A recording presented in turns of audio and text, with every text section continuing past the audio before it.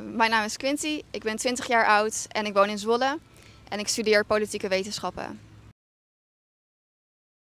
Uh, sinds Koningsdag dit jaar heb ik me wat meer verdiept in um, wat is het Koningshuis precies, waarom vieren we de verjaardag van een man die we eigenlijk helemaal niet kennen en um, wat zijn nou eigenlijk de voor- en de nadelen.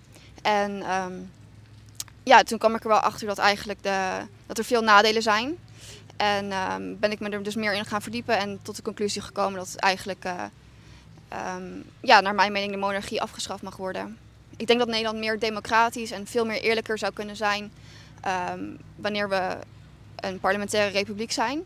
Um, er wordt heel veel geld uitgegeven aan het Koningshuis, echt belachelijk veel geld. Terwijl er ook gewoon arme mensen in Nederland wonen, dakloze aantallen nemen toe.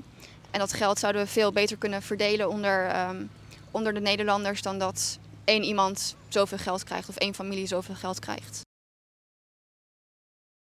Uh, dat kan kloppen dat het voor, ook voor verbinding zorgt.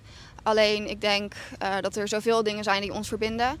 En we zouden ook in plaats van Koningsdag een andere hele leuke feestdag kunnen organiseren met z'n allen. Ik ben zeker niet jaloers. Het lijkt me heel raar dat iemand anders voor jou beslist wat je later moet worden.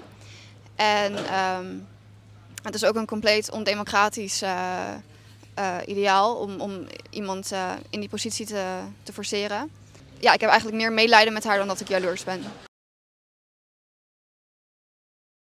Ik vind erfopvolging een heel erg uh, conservatief idee. Dus ik vind het ook raar dat deze partijen hier eigenlijk voor zijn.